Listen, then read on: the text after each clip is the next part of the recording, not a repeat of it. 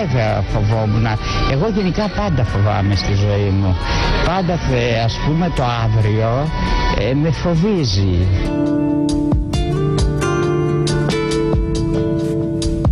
Ο Μιχάλης ε, τα τελευταία 5-6 χρόνια έχει ταλαιπωρηθεί και σαν επιχειρηματίας και σαν επαγγελματίας και σαν άνθρωπος. Συγγενείς, φίλοι και συνεργάτες του Μιχάλη Ασλάνη προσπαθούν να συνειδητοποιήσουν την τραγική είδηση. Έχουν πληροφορηθεί το θάνατο του 65χρονου σχεδιαστή και βρίσκονται έξω από το σπίτι του στην οδός Σκουφά στο Κολονάκι. Είναι συγκλονιστικό ότι βρίσκομαι εδώ τώρα για το θάνατο του δημοφιλέστερου σχεδιαστή στην Ελλάδα. Δεν το έδειχνε αυτός Ό,τι και να είχε, πάντα γελούσε. Η είδηση έσκασε σαν βόμβα λίγο πριν τις 3 το μεσημέρι. Η υπεύθυνη του ατελιέ του που ανησυχούσε επειδή ο σχεδιαστής δεν είχε δώσει σημεία ζωής από το πρωί, αποφάσισε να μπει στο διαμέρισμά του με τα κλειδιά που της είχε δώσει. Μαζί της, ο σχεδιαστής και φίλος του Μιχάλη Ασλάνη, Γιώργος Κουτούλιας. Δύο-τρεις καρέκλες αναποδογισμένες στο σαλόνι, απλά η καρέκλα πεσμένη κάτω. Ναι. Δεν μπορώ να διακρίνω κάτι, δεν μπορούσα να διακρίνω κάτι άλλο. Μα το σπίτι ήταν αναστατωμένο, δηλαδή μήπως το, το, το, σπίτι, το, σπίτι, το σπίτι δεν ήταν αναστατωμένο, δεν είναι αναστατωμένο, οι καρέκλες είναι πεσμένες κάτω. η πόρτα είδατε κάτι να είναι σπασμένη, όχι, κάτι να όχι, παραβιασμένη; Όχι. Τα μη συνταγογραφημένα χάπια που βρέθηκαν στο πάτωμα του διαμερίσματος δίπλα από το άψυχο σώμα του σχεδιαστή έστρεψαν από την πρώτη στιγμή τη έρευνες της αστυνομίας στο ενδεχόμενο της αυτοκτονίας. Στα συρτάρια του σπιτιού βρέθηκαν πολλά συνταγογραφημένα ψυχοφάρμακα, σημειώσεις για τα οικονομικά του χρέη και ένα ημερολόγιο με σκέψεις του. Σε αυτό είχε γράψει πριν από λίγες μέρες ότι κανείς δεν ξέρει τι του ξημερώνει. Εγώ πριν ε, δύο μήνες μίλησα στην Τζακάλοφ. Ήταν απλά δυνατισμένο. Αυτό μπορεί να έκανε δίαιτα. Μιλήσαμε. Δεν μου. Ε, Απλώς. Ο Μιχάλης Ασλάνη είχε μετακομίσει σε αυτό το διαμέρισμα πριν από τρεις μήνες και ετοίμαζε την επίδειξη μόδας για τα 40 χρόνια του στο χώρο. Ο τελευταίος που μίλησε μαζί του το βράδυ της περασμένης Κυριακής ήταν ένας εκ των στενότερων συνεργατών του. Μιλήσαμε για το σοου. Μου λέει το σοου θα είναι εντυπωσιακό. Θα κλείσω τα 40 μου χρόνια.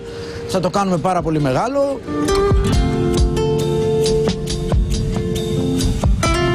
Τα τελευταία χρόνια ο σχεδιαστής αντιμετώπιζε το δικό του οικονομικό κολγοθά. Το 2010 μετακόμισε στη Βραζιλία για να συνεχίσει την επαγγελματική του πορεία, αλλά δεν τα κατάφερε. Επέστρεψε στην Ελλάδα, αναγκάστηκε να πουλήσει την ακίνητη περιουσία του και άρχισε να παλεύει με τα χρέη.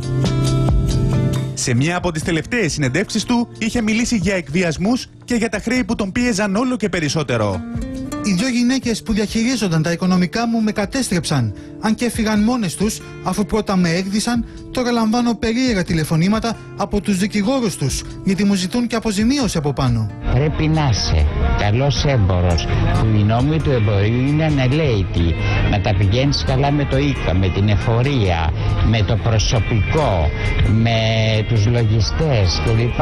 Δηλαδή, ε, και εγώ σε αυτό το τομέα δεν είμαι καθόλου καλός. Στην πρόσφατη συνέντευξή του στην εφημερίδα Εσπρέσο, υποστήριξε ότι έπεσε θύμα πλεκτάνης από δύο γυναίκες που στο παρελθόν είχε βοηθήσει. Τότε μάλιστα είχε δηλώσει για πρώτη φορά πως φοβάται για τη ζωή του.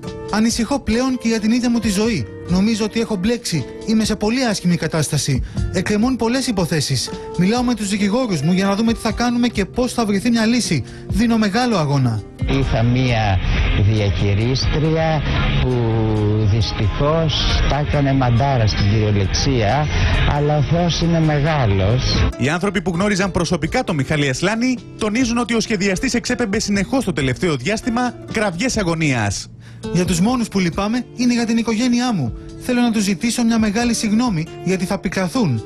Πάντα με στηρίζουν και είναι δίπλα μου. Εγώ φταίω για τις επιλογές μου και δεν είχα μια και δεν είχα μυαλό να δω τα λάθη μου. Πρέπει να σπάσεις τα μούτρα σου για να μάθεις. Και εγώ έσπασα πάρα πολλές φορές τα μούτρα μου για να μάθω. Θα ήθελα να γράψω αρκετά. Ο Μιχάλης Ασλάνης καταγόταν από τη Μικρά Ασία. Σπούδασε διακόσμηση, γραφικές τέχνες και ιστορία τέχνης. Το 1974, παράλληλα με τις σπουδές του, ξεκίνησε την καριέρα του στο χώρο της μόδας.